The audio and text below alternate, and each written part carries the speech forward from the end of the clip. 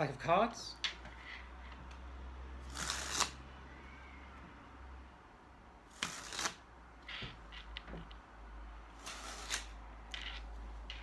Easy when they're all attached.